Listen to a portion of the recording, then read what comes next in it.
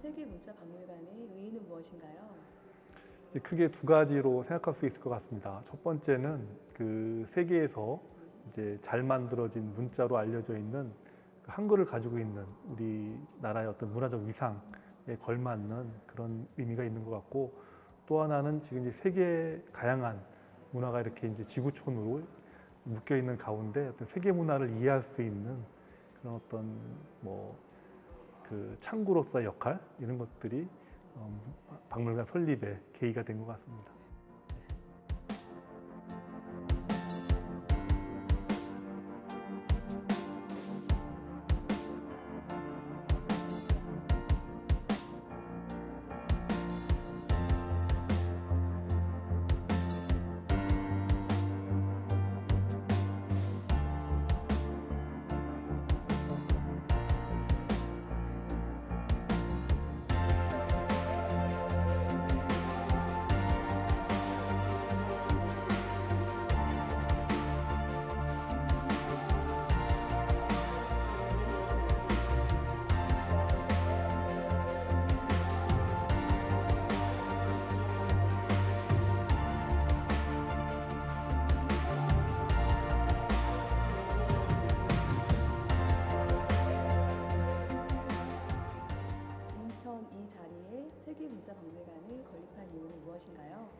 이제 세계를 세계로 향하는 이제 관문으로서 인천 글로벌 도시에 그 세계 문화를 소개하는 문자박물관이 건립됨으로써 인천 지역의 어떤 문화 역량이 한 단계 더 오를 수 있는 그런 계기가 될 것 같습니다.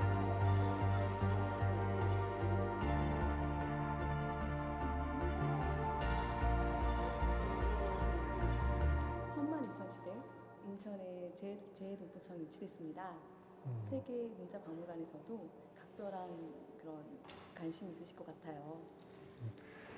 그 재외동포의 어떤 정체성과 관련돼서 가장 중요한 그런 어떤 뭐 문화적인 그런 음, 주제 중에 하나가 언어와 문자라고 생각이 되고 그 이제 그 천만 그 인천 시민들 그 700만 재외동포들의 언어 문자를 서로 공유하고 이해할 수 있는 어떤 거점으로서 어, 박물관이 충분히 역할을 할 수 있을 것 같고 앞으로도 그 재외동포청하고 같이 여러 가지 협업할 수 있는 그런 사업거리들이 만들어질 수 있을 것 같습니다.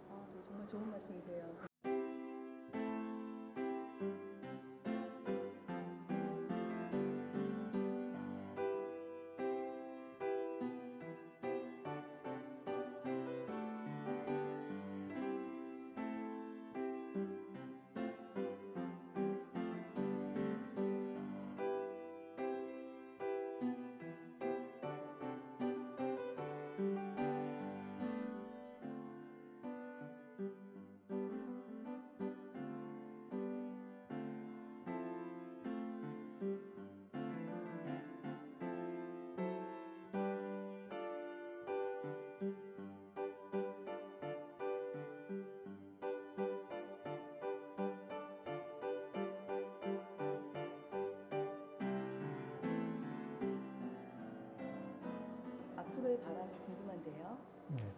이제 국립세계문자박물관은 그 이제 세계 문자와 주제를 문자를 주제로 한 박물관이 그 프랑스 샹폴룡 박물관하고 중국의 이제 문자박물관 두 곳밖에 없습니다. 그래서 지금 세계에서 세 번째로 만들어지는 문자 전문 박물관이기도 합니다. 그래서 우리가 이 문자를 주제로 해서 앞으로 이제 인천 지역의 어떤 그 시민들과 함께하고 그다음에 어떤 시대 요구에 부응할 수 있고 또 앞으로 미래를 좀 대비할 수 있는 그런 문화 콘텐츠를 개발하기 위해 노력하도록 하겠습니다.